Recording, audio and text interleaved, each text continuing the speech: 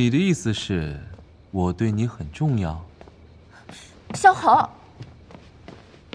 你是不是为了我，把龙武君给了长公主？你知道了？这就是你的法子？对啊，今日不是谁也没提赐婚的事情吗？鱼符是多么重要的东西，你怎么就这么轻易的给出去了？我不是说了，我有法子解决吗？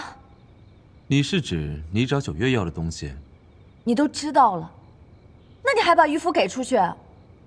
我猜的，但是我并不知道你具体要的是什么东西。哎，得赶紧想办法把渔夫拿回来。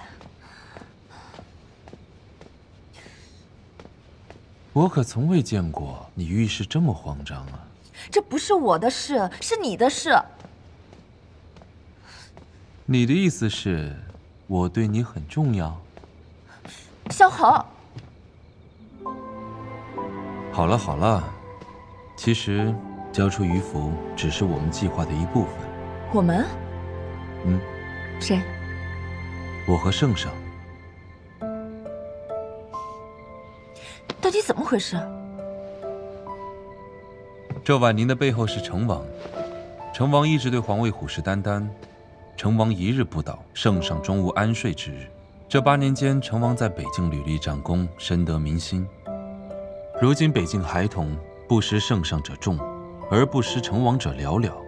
成王就是要这样建立威望，逐步树立自己英武爱民的好形象，便能名正言顺的招兵买马。所以，我和圣上也下了一盘棋。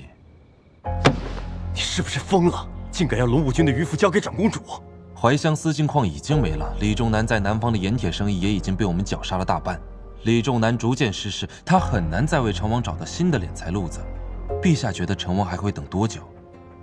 成王势力已成，无论我们出何谋划、致命一击时，都有两败俱伤的可能。陛下已经信了我八年，请再信我一次，我一定用最小的代价换取最大的胜利。那朕要怎么配合你？演一出戏，怎么演？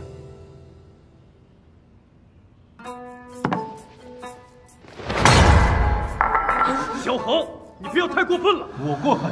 沈玉荣请旨赐婚的时候，陛下为何不拒？不就是个赐婚，你着什么急啊？陛下明知我心悦江二娘子，这是置我于何地？他们俩的事闹得朝堂皆知，朕不想两家难堪，这是最好的办法了。陛下心意已决了吗？萧恒，朕劝你收回自己的心意。臣告退。